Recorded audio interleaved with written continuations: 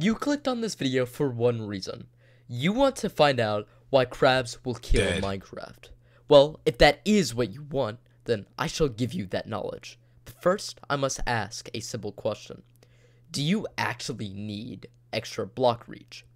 If you said yes, remember it is just extra block placement reach, not block break reach. Also, remember that by saying yes, you will lose your totem of undying because the claw must go in your offhand in order to use it. Or, maybe even worse, you'll have to eat a claw every 8 or so minutes to activate the buff. Now, for the people that said yes before, do you actually need it?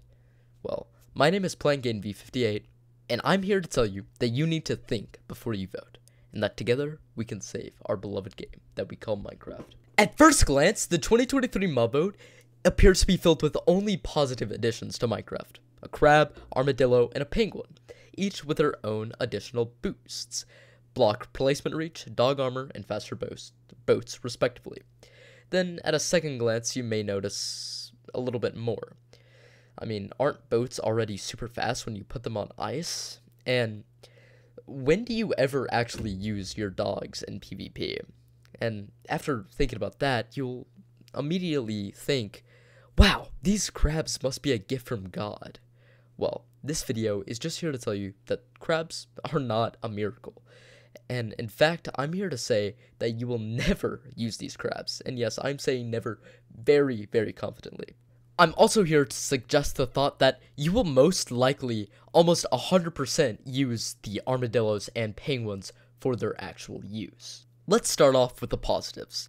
Penguins will be the first exclusive mob for the Stony Shores biome, and will also allow you to travel even faster on boats, which means for long term worlds that are massive and you have builds separate from each other, you can get to one place from another faster, which is something that everybody wants, no matter what.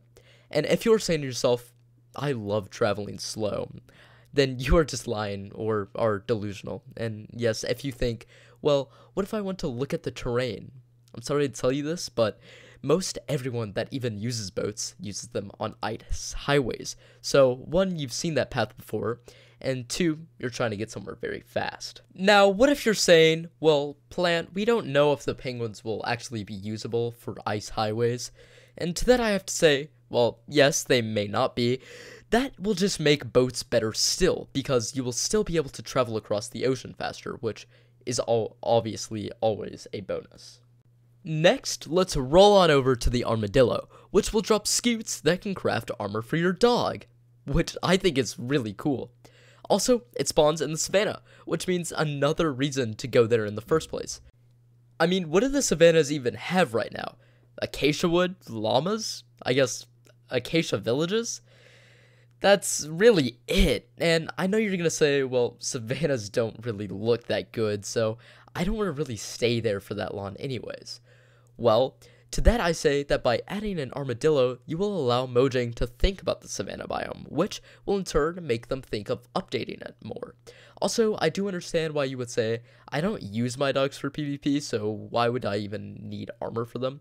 Well, to say the least, with armor, you would be able to actually use them in PvP because they wouldn't die as fast. And even if you're a solo player, you'll still reap the benefits of Wolf Armor because this will allow you to bring a more environmental feeling for your builds. Just think of how cool it would be to have a castle build with armored wolves guarding it. Now, I know you may say, well, I don't build castles, nor do I even tame dogs in the first place. And to answer the first point, I must say, you'll still be able to use these dogs as an addition for your builds.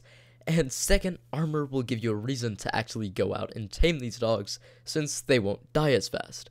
And since they won't die as fast, people will actually bring them with them sometimes. I mean, dogs are still just NPCs, so they won't actually be as helpful as real people.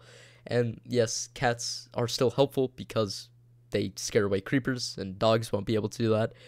Unless the armor gives them a boost that'll allow them to scare away zombies or skeletons, I don't know this is all just speculation, right? But still, dogs will actually have a reason to tame them for gameplay. And finally, we come to the crab, a mob that spawns in the mangrove swamp, which is a biome that was added in 1.19, so it's still very new. It is also a mob that will drop its claw, which will increase block placement reach. Now, how lazy are you? Back in my day, we just placed dirt when we needed to have some extra block reach. Now people can't even do that. And don't even get me started on the fact that since we don't know how you will get this boost, it will most likely just make it to where you can't use your totem, which is for all the hardcore players that love building such elaborate builds, means that if you fall to your death, you're dead your world's gone, right? And I know that doesn't matter to most hardcore players since you can just open up to LAN and go back to before you died it does matter to hardcore players that actually don't cheat. And when hardcore is eventually added to Bedrock, you won't be able to just cheat back your life. So, yeah, hardcore players, this crab won't benefit you at all. And don't even get me started on the fact that some people are calling scaffolding a late game item.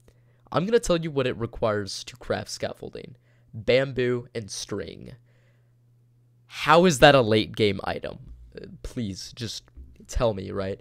And even if you're too lazy to go to a jungle, or maybe you don't have a jungle near you, just use dirt. Dirt was scaffolding before scaffolding was even introduced, right? And don't even get me started on who's actually going to benefit from this crab claw. I mean, you may think it's builders, but since most builders build in creative mode, you can just fly in creative mode, so you don't even need extra reach. It's useless, right?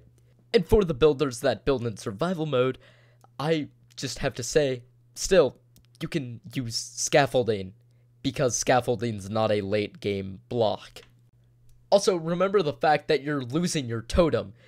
And even if you don't lose your totem, you're still losing time since you would most likely have to eat the claw every 8 or so minutes to actually keep the buff. And if you think that Mojang wouldn't do this, consider this. Crab claws are real food and are very popular in real life. Also, that remember that crabs, while yes, some people are allergic to them, most people aren't. Also, remember that crabs are relatively rare to just find at normal restaurants, so most kids won't go looking for claws to eat. And I know that may sound obvious, but some people still think that Mojang wouldn't make the claws edible because I, I, I don't know why they wouldn't make the claws edible in any reason. They they could be edible. I just want you to remember that. And I know a big thing is that Mojang likes to think about when they add new mobs to their game is they don't want people to go around and harming animals, right? Well, the crab drops its claw and crabs need their claws to eat because that's how they crush food.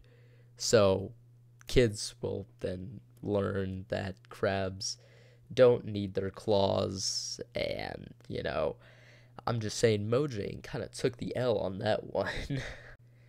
Now, I'm sorry for getting a little bit angry right there, but as I said at the beginning, I do actually believe that the crab could harm Minecraft.